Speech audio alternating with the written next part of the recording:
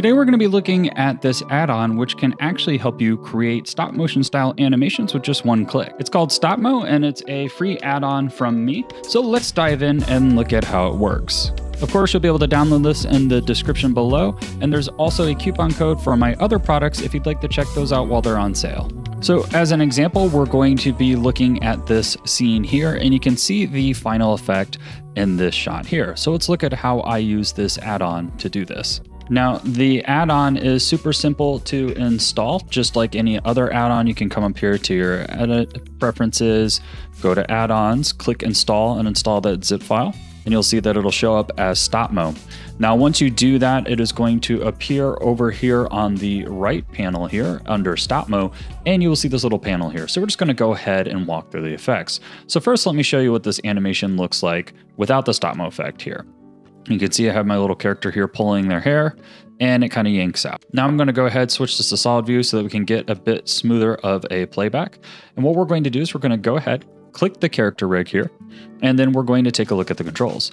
Now apply steps will apply the effect to your character rig and all the bones that have animation. It does work on some other objects, but not always. So it's really only meant for character animations, but it does sometimes work on other things.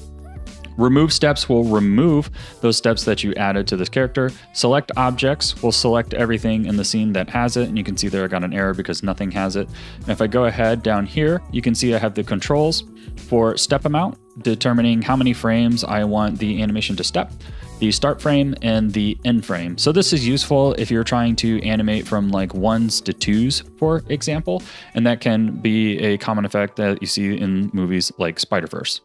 Now, right now it's limited to kind of doing one range set. So, for example, you couldn't do 20 to 60 and then 90 to 120, for example. It kind of lets you just determine one range within the timeline. And then lastly, here we have an animate texture. First of all, let's go ahead and look at how it applies to this here. Now, I wanted to animate my entire stop motion short film on twos because it would give it more of a proper stop motion look. The problem is that you can't just export on twos because then your camera will look super jittery. And sometimes you may want to go to ones where you animate every single frame. Ones means you're animating keyframes every frame, twos means you're animating every two frames. So if you do your camera on twos, it can end up with a very jittery look.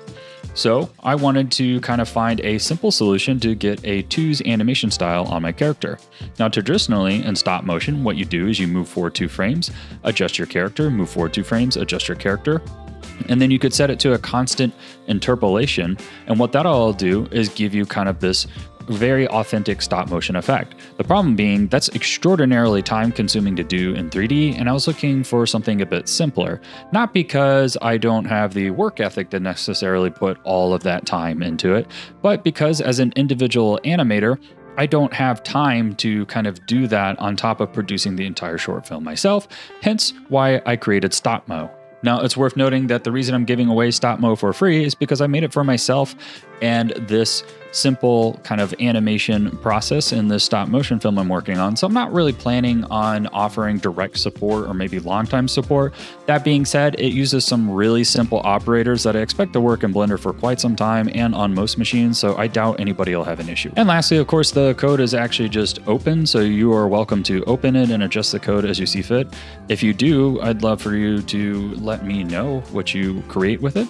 But that being said, let's dive into actually how to use all of these effects in the panel here. So first, it's as simple as just setting your step amount and clicking the character. So I'll go ahead, hit apply steps here, and you can see that now we're getting a kind of stop motion look. Let's go ahead and do something a bit more extreme. You can see that you can actually adjust it here. So if I go ahead and do four and hit apply, you can see I'm getting an even more kind of extreme effect. It's very rare to animate on fours, but it does happen. So let's go ahead, switch this back to 2, hit apply, and look at exactly how this is working. If I go ahead and grab one of the bones here, for example the hip, you can see that the frames are going on every 2s. So what happens is that if you insert a keyframe on 3, for example, you can see here that it is being skipped over. So you'll still kind of get that motion, but it might end up being a bit more jittery. So I highly recommend that when you're using this animation, whenever you place a keyframe, you try and place it on an even number. And that'll help you get a more realistic effect, assuming that you're using the twos amount. Now, the what this is doing is it's taking everything in the object and quick applying this stepped modifier to all of your F curves. So the step modifier is in there by default. This isn't anything I've created. Essentially what I've created is a panel to just speed up the process. So the main notice that there's also this animate texture option. So let's go ahead and take a look at how that works. So let's take a look at the animate texture option. I've just gone ahead and just dragged one of the textures from my asset pack over here, the clay one, onto this plane as an example. So when you're trying to get a stop motion look, oftentimes fingerprints, paper, cardboard, things like that, they kind of get moved around when the animators are adjusting the model. So by kind of animating the textures a little bit, you can almost get a more just kind of authentic feeling. So let's look at how we can do that with this add-on a bit simpler. So what you can do is you can select your object, and you'll need to make sure you have the shader window open. And whatever texture you are trying to animate, you're going to need a mapping node. Now, this is kind of dependent on you having good UVs or properly generated map, but what this will do is you grab the mapping node, have that selected, click Add Animation, and you'll see that it adds keyframes here to the Z. And right now you can see that it is just rotating that around. So what you can do is you can go ahead and select these keyframes and this button here will work on any keyframes you have selected. So it could be useful in other situations, but it was kind of intended for this. You go ahead and you click step loop. And then now when we go ahead and hit play, you'll see that the texture is animating. Now let's take a look at what this did.